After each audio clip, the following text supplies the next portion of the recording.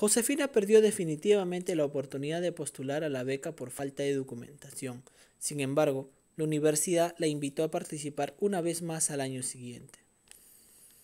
Días después de cumplida su expulsión de una semana, la junta de administración del colegio y la directora se retractaron en su decisión y readmitieron a Josefina tras pedirle disculpas por no haberle dado la oportunidad para explicar razones. El discurso honesto y contundente de su padre había sido determinante para que la decisión fuera revisada.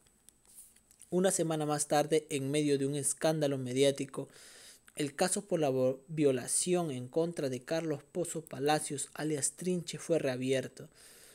Lucía Faicán, la periodista hermana de Bárbara, reportó en el noticiero de la noche que el acusado había fugado del país y que su padre, el candidato Arturo Pozo, había sido expulsado del partido político y por tanto su candidatura había sido suspendida. Doña Ofelia, frente a la pantalla, miró al candidato vociferando, presionó la tecla de silencio y le dijo, vete a freír espárragos sin vergüenza. El último día de clases, tras la ceremonia de graduación, Josefina y sus padres se fueron a celebrar. Llevaban demasiados años sin que esa palabra celebrar tuviera espacio entre ellos y ahora había razones suficientes para hacerlo. La justicia.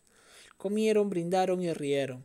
Al final de la cena el padre le entregó un sobre a Josefina y le dijo Tengo un regalo para ti. ¿Qué es?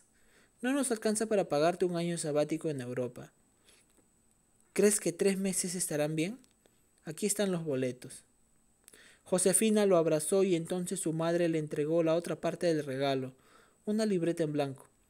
Llénala, hija, llénala de vida, le pidió. Y Josefina dijo que sí.